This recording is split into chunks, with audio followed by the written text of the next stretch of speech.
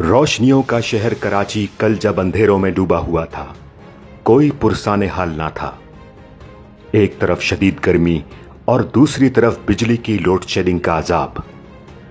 ऐसे में कितने ही ज़िंदा इंसान लाशों में तब्दील हो गए। कोई पूछने वाला ना था कि इसका जिम्मेदार कौन है। ऐसे में हमेशा की तरह जमात इस्लामी ने आवाज़ हक बुलंद की। अवाम ने जमात इस्लामी का साथ दिया। हाफिज नईमुर रहमान ने कराची के अवाम की क्यादत की और यूँ के इलेक्ट्रिक के खिलाफ शहर भर में एहतजाजी तहरीक का आगाज़ हुआ। एहतजाज हुआ, धरने और मुजाहरे हुए, डंडे खाए। गिरफ्तारियाँ हुई और कारकुनान जख्मी हुए, लेकिन अवाम का साथ नहीं छोड़ा। के इलेक्ट्रिक के जुल्म के खिलाफ अदालत का दरवाज़ा खटखटाया और यूँ नेपरा को भी मजबूर कर दिया कि वो के इलेक्ट्रिक के बजाय आवाम का साथ दे।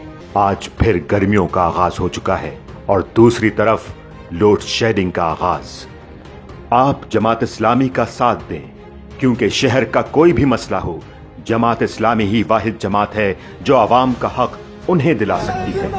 आइए, कराची को फिर रोशनियों का शहर बनाएँ।